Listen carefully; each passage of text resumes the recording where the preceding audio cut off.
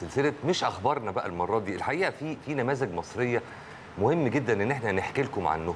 ليه؟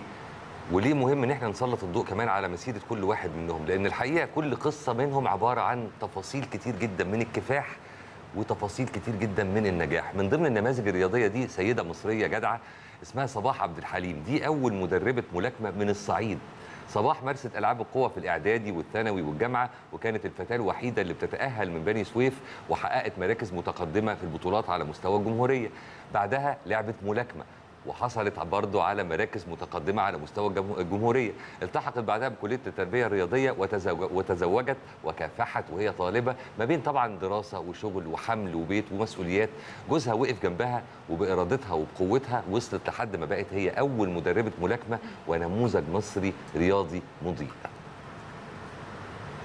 أنا بشوف دايما إن يعني بيبقى في جزء كبير قوي على عيلة أي شخص ناجح طبعاً. سواء الزوج الأب الأم الأولاد. يعني دايما بيكون الشخص الناجح مش هو بس اللي ناجح لازم يكون في بيئة كمان بتساعد على ده. فده مثال محترم مش بس لمرأة قدرت إن هي تصل لأ كمان لزوج ولعيلة محترمة ومتفهمة وبتشجع ويعني تحية ليهم. حقيقه أنا بحب جدا النماذج اللي بنتشرف بيها كمان كسيدات يعني تحديدا هنا مصريات.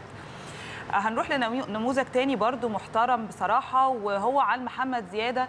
هو فارس مصري رفع اسم بلاده عاليا بس هنا في الفروسية. حقق إنجاز كبير جدا وهو التأهل لدورة الألعاب الأولمبية القادمة في العاصمة اليابانية طوكيو. ده هيكون صيف 2021 زيادة بدأ هنا الفروسية وهو طفل تعلم وكبر وهو بيعشق اللعبة دي لحد ما وصل النهاردة. عنده 25 سنة ولم يتوقف عن ممارسة رياضة الفروسية منذ كان طفلا. نموذج ده بصراحة فيه تحدي وإصرار لكن الفكرة كمان مهم إن إحنا نستمر. الاستمرارية في هذا النجاح يعني أمر أعتقد أساسي فكل التوفيق ليه في إن شاء الله أولمبياد بقى طوكيو نتمنى ليه كمان تحقيق يعني رانكينجز كويسة.